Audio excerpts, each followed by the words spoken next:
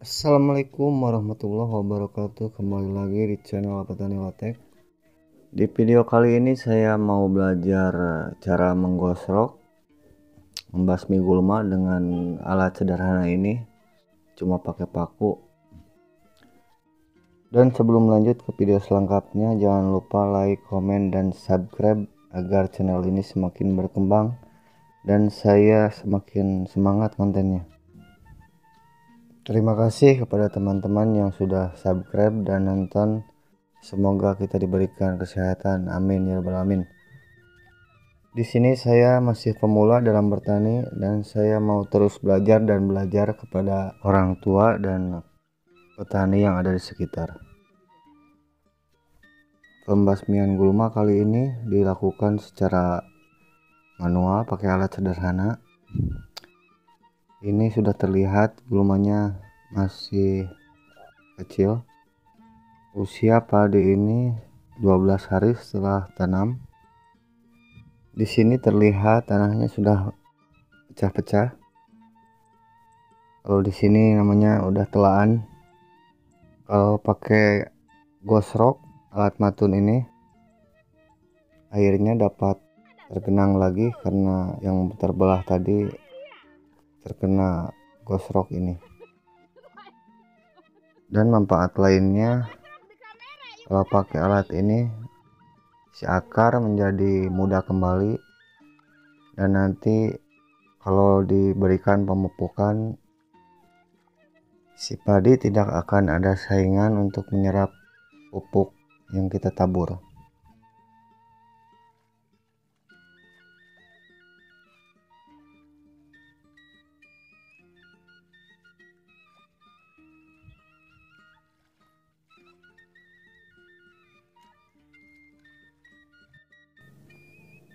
bisa kawan-kawan lihat si gulma masih kecil-kecil. Jadi tidak ribet untuk pakai alat matun ini. Tidak seperti ini. Sangat ribet dan bikin perut sakit. Dan saya kapok. Jadi dan saya atasi lebih dulu sebelum seperti yang tadi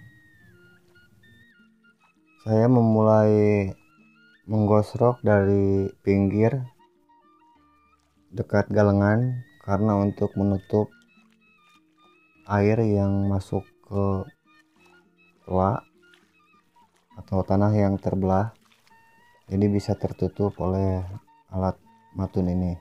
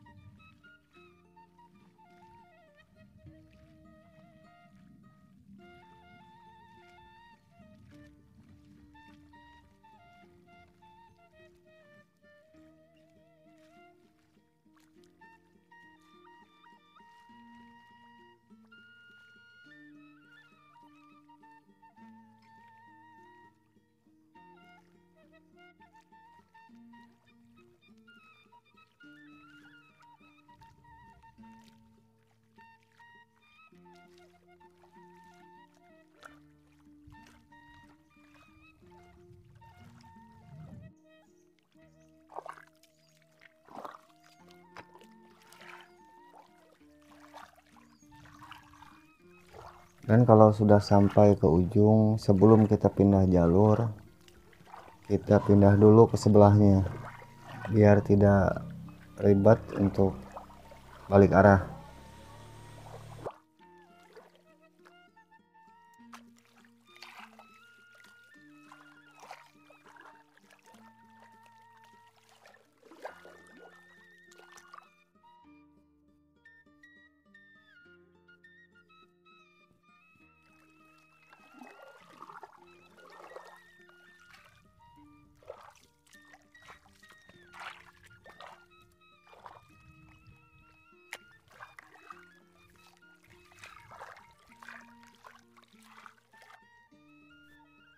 dan inilah hasil penyiangan gulma pakai alat matun sederhana ini atau gosrok bisa terlihat. Sudah bersih rumputnya. Dan semoga video ini bermanfaat buat kawan-kawan petani khususnya pemula. Terima kasih sudah menonton video ini. Semoga anak muda tidak ada kata gengsi untuk menjadi petani salam sukses salam pertanian wassalamualaikum warahmatullahi wabarakatuh